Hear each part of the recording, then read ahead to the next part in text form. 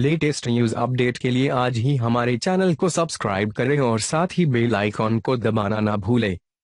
नमस्कार बीबी न्यूज़ में आपका स्वागत है। हाल ही में कॉरपोरेट की दुनिया से दो लोग अरेस्ट किए गए हैं, जिनमें विपुल अंबानी का भी नाम। कहा जा रहा है, उनकी गिरफ्तारी की वजह नीरव मोदी से जुड़ा होना है। बता दे, विपुल का संबंध गुजरात से है। विपुल अंबानी की उम्र 45 साल की है। उन्होंने केमिकल इंजीनियरिंग की डिग्री और एमबीए मैसाचुसेट्स से किया है। दरअसल, हीराचंद गोवर्धन दास अंबानी के तीन बेटे थे, रमणिक भाई, धीरू भाई और सबसे छोटे नट्टू भाई। धीरू भाई के बेटों को सभी जानते हैं। रमणिक लाल के बेटे विमल के नाम पर रिलायंस का कपड़ा विमल ब्रांड नाम से आता है।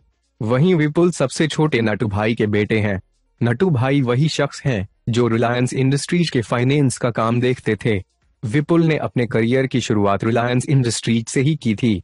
इन्होंने ही पोलीप्रोपीलन प्रोजेक्ट के लिए टेक्नो इकोनॉमिक कंप्यूटराइज्ड मॉडल तैयार किया था, जो काफ़ी किफायती था।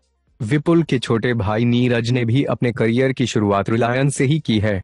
नीरव मोदी के छोटे भाई की शादी इशिता सालगांवकर से हुई है।